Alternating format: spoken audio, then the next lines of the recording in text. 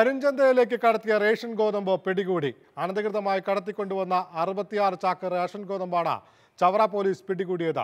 പന്മനയിൽ പ്രവർത്തിക്കുന്ന ഭക്ഷ്യ സംസ്കരണ കേന്ദ്രത്തിലേക്ക് കൊണ്ടുവന്നതാണെന്ന് പിടിയിലായ ലോറി ഡ്രൈവർ മൊഴി നൽകി.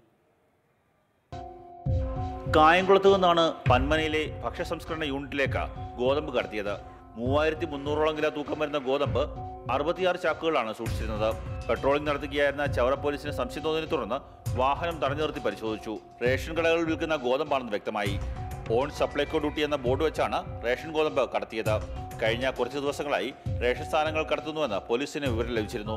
അതിന്റെ കൂടി അടിസ്ഥാനത്തിലായിരുന്നു പരിശോധന. കഴിഞ്ഞ കുറേ നാളുകളായി നമ്മുടെ ഹൈവേ വഴിയും അല്ലാതെയും രാത്രി കാലങ്ങളിൽ വൻതോതിൽ റേഷൻ സാധനങ്ങൾ മറിച്ചു കടത്തുന്നുണ്ട് എന്നുള്ള വിവരത്തിന്റെ അടിസ്ഥാനത്തിലാണ് തെരച്ചിൽ നടത്തിയത്. സംഭവവുമായി ബന്ധപ്പെട്ട് ചവറ സ്വദേശി മുബാറക്കിനെ പോലീസ് അറസ്റ്റ് ചെയ്തു. സമാനമായ രീതിയിൽ മുമ്പും റേഷൻ സാമഗ്രികൾ കടത്തിയിരുന്നുവെന്ന് പോലീസിന് തെളിവ് ലഭിച്ചിട്ടുണ്ട്. ലോറിയിൽ നിന്ന് സിവിൽ സപ്ലൈസിന്റെ ബോർഡും കണ്ടെടുത്തു. വരും ദിവസങ്ങളിലും പരിശോധന ശക്തമാക്കുമെന്ന് പോലീസ് അറിയിച്ചു. പ്രതിയെ കോടതിയിൽ ഹാജരാക്കി റിമാൻഡ് ചെയ്തു. മാതൃഭൂമി ന്യൂസ് കൊല്ലം.